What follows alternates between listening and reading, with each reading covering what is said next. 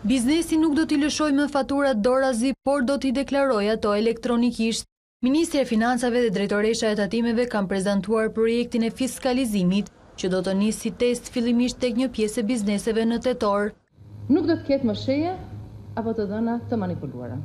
Nuk do të ketë më taksapagues që nuk paguajnë pjesën që i takon.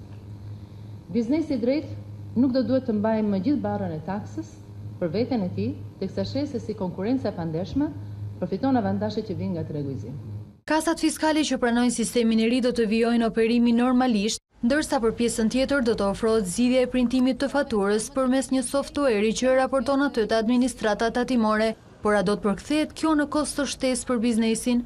Qeveria angazhohet që të bëjë një aplikacion pa para në mënyrë që të gjithë të kenë akses tek ai dhe procesi mund të implementohet lehtësisht në çdo pajisje si telefon, tablet, laptop, desktop.